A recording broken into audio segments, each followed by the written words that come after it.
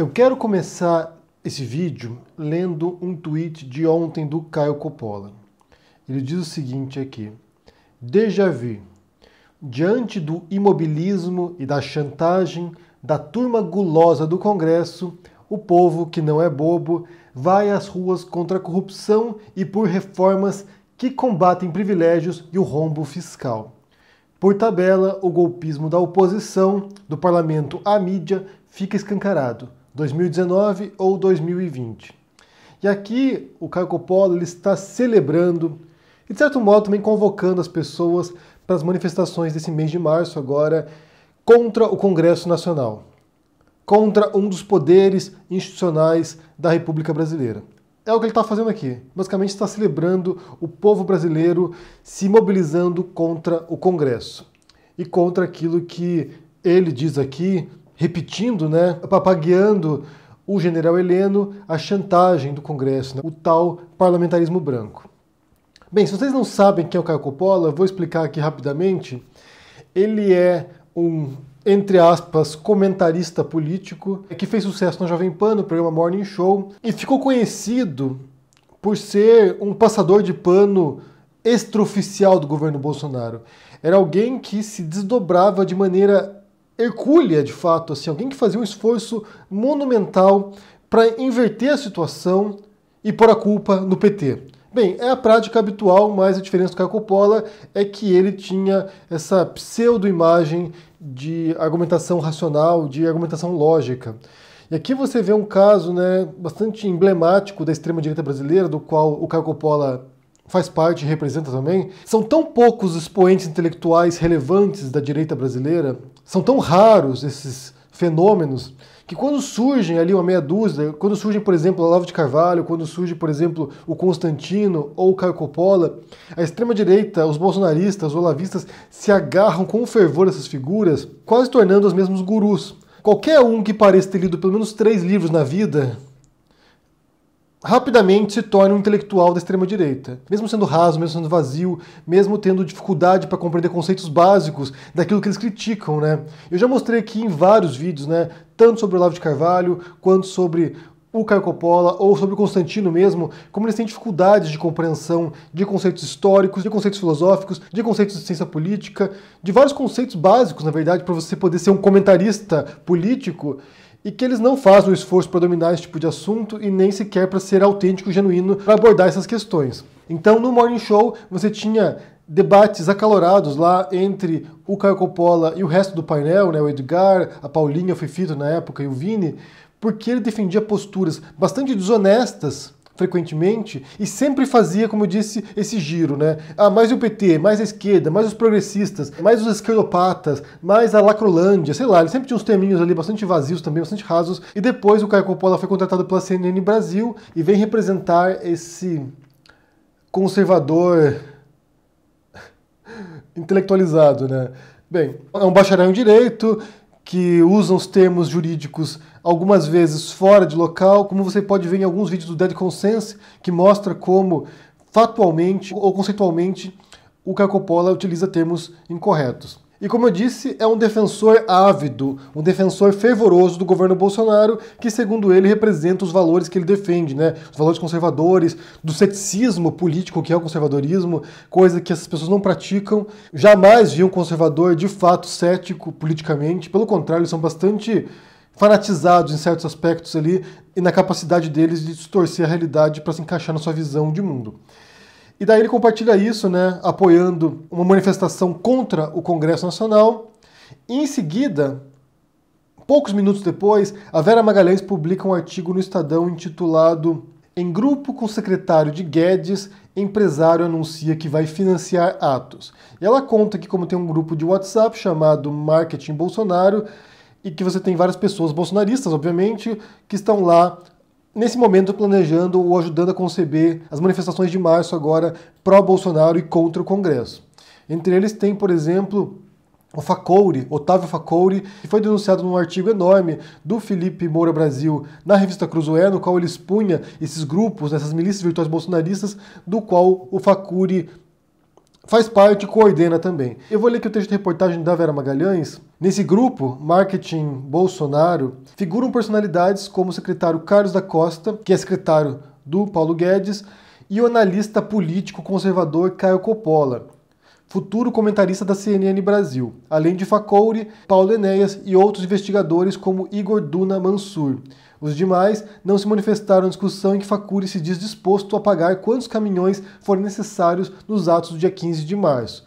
Que aqui você tem o Facuri dizendo que vai financiar os eventos, que vai financiar a manifestação, que vai pagar carro de som, ou seja, você tem ali o empresário que está disposto a bancar aí o fechamento do Congresso. Embora em entrevista depois para Vera Magalhães ele disse que não é bem isso, que ele não defende isso, que ele defende apenas o Bolsonaro. Devemos ressaltar aqui que a Vera Magalhães está on fire, ela está implacável nesses dias. Foi ela que denunciou vídeo compartilhado no WhatsApp pelo Bolsonaro a favor desse ato contra o Congresso. Ela que fez isso e tem sofrido ataques violentos esses dias contra ela, contra a família dela, por milícias bolsonaristas, ou seja, primeiro eu quero elogiar o trabalho dela que ela tem feito agora nessas denúncias e também demonstrar minha solidariedade a ela por causa dos ataques que ela tem sofrido, porque o que você vê agora nesse momento no Brasil é justamente isso. Jornalistas fazendo seu trabalho, jornalistas denunciando, jornalistas cumprindo seu papel de informar o brasileiro e eles são os alvos dos ataques do Bolsonaro. Em vez de o ataque se voltar contra esses mandantes desse tipo de atos, esse tipo de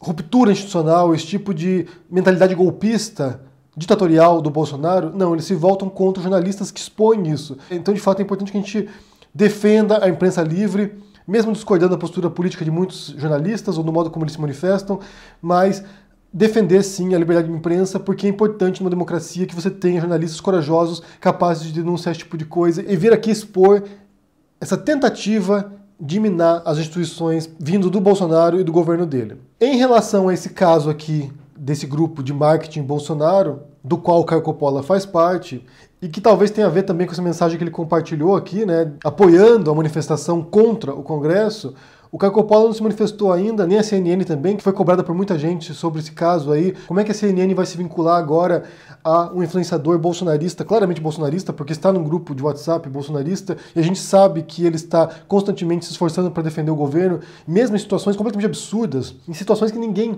razoavelmente faria uma defesa do governo, ele vai lá e faz um esforço um malabarismo argumentativo para defender o governo. E aqui é importante fazer uma ressalva. É importante fazer isso. Porque não tem nada de errado em essência, não tem nada de errado, a princípio pelo menos, que você tenha um jornalista que tenha um viés partidário, ou um jornal com viés partidário. Não tem nada de errado nisso. De fato, não tem nada de errado. Você pode ter um jornalista petista, por exemplo.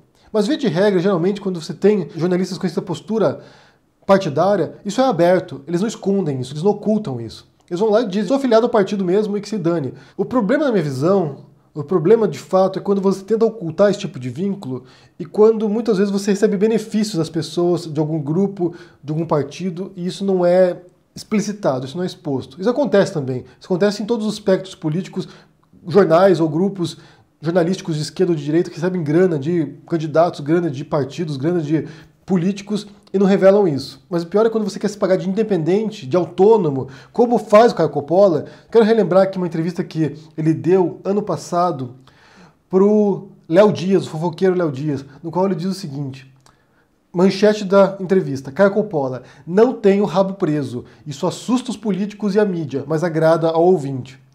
E eu acho difícil alguém dizer que não tem rabo preso, por exemplo, quando ele participa com a empresa de marketing dele da campanha do Novo e depois agora ele faz parte do grupo de marketing para o Bolsonaro. Então não dá para dizer até que ponto que o cara não tem rabo preso, sendo que, como eu disse, ele se esforça de maneira mirabolante para defender o governo. Eu não posso dizer aqui que, diferente do caso do Novo, que ele recebeu grana do partido, não posso dizer aqui se ele recebe grana ou não do Bolsonaro. Não sei, não sei. Mas nesse sentido, eu prefiro muito mais o Alan dos Santos, que é uma figura completamente repugnante da extrema-direita, sim, o Alan dos Santos é o que tem de pior em termos de jornalismo, né? Que botar entre aspas aqui, porque aquilo ali que ele faz não é jornalismo, mas é o que tem de pior. O Alan dos Santos é uma mistura, é um híbrido do Olavo de Carvalho, do Nando Moura e, do, e da Paula Marisa. É, assim, é, assim, é uma coisa completamente repugnante, mas não oculta a posição dele, não oculta que ele é altamente partidário, completamente enviesado, não oculta que ele ganha grana do governo, que ele suga o dinheiro do Bolsonaro, não oculta isso. Talvez ele tenha ocultado, mas depois que vem à tona, não oculta. Então, assim, não é alguém que está se passando por alguma coisa que ele não é. Ele é bolsonarista, ele é olavista e não oculta isso. Então, por mais repugnante que seja o Alan Santos, ele é alguém que seria autêntico, sabe? Já o Caco não, quer se pagar como alguém que plana sobre as águas e está ao mesmo tempo frequentando o barzinho junto com o Bernardo Kister, junto com o Carlos Jordi. Fala aí, Caio, beleza? Estamos aqui na Noite Paulistana, curtindo um pouquinho. O que, que você acha do Glenn? Hum. Você acha que vão pegar ele agora? Vamos pegar o Glenn? É. Se pá, vamos.